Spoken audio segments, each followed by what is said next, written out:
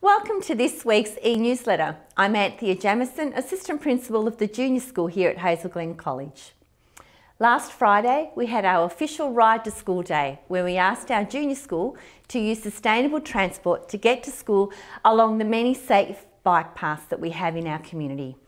We had a fantastic response with 372 of our students either ride, skate or scoot to school and another 191 of our students who walked. That's just over half of our junior school students who took up the challenge. And what an enormous difference that this made to the traffic in our car parks and on our school roads. Well done to all who were able to ride to school and we hope that this is something that we are able to continue on a daily basis. Thank you very much to Mr Jared McGough for all of his organisation on the day.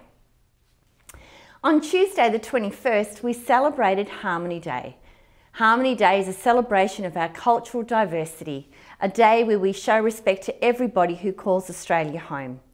It's a day where we celebrate with the students that Australia is a great place to live because of our cultural diversity. The message for Harmony Day is that everyone belongs, and this message ties in beautifully with our college philosophy and the values that we live by every day at Hazel Glen. Teachers and students have been reading and sharing many books about what it means to be an Australian and we've all been involved in activities which are on display in our reception foyer. Students were also involved in an African drumming session which was lots of fun.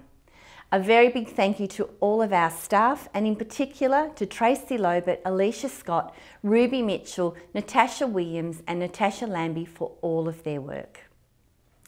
You may have noticed some new garden beds in our Year 1 area and our prep area at the front of the staff car park. These have been developed through our exciting STEAM program led by Mr Lachlan McDonald. Our students have been growing seedlings and will be using these garden beds to plant and grow beautiful veggies and herbs. We would like to thank Bunnings for donating over $1,500 of products as well as sending five of their staff to provide manual labour in the rain. We're very thankful on behalf of our very excited students who can't wait to get their hands dirty. Our parent-teacher interviews are happening on Thursday the 30th of March. This is a variation to the school day, so students will not attend school. However, it is recommended that they do attend the interview with you. Bookings for the interview are open now through Compass. If you miss out on an interview time, please ring the teacher concerned to make an alternative day and time. We look forward to the opportunity to share information about your child. On Friday the 31st of March, our last day of term one, we'll be having our annual Easter hat parade in the gym. Hopefully all students are busy at home creating something beautiful to wear. We'd love you to come up and watch the parade at 8.45am. I can't believe that we're nearing the end of term already. It's been a fantastic term with our new preps and our many new students settling in wonderful, wonderfully to our college.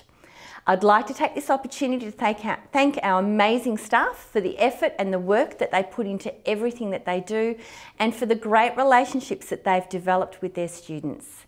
And I'd also like to say thank you to our parents for working with us as partners in their child's educational journey. I hope this continues to grow even stronger. Have a wonderful break with your children, a wonderful safe break with your children, and I look forward to what term two brings. Thank you.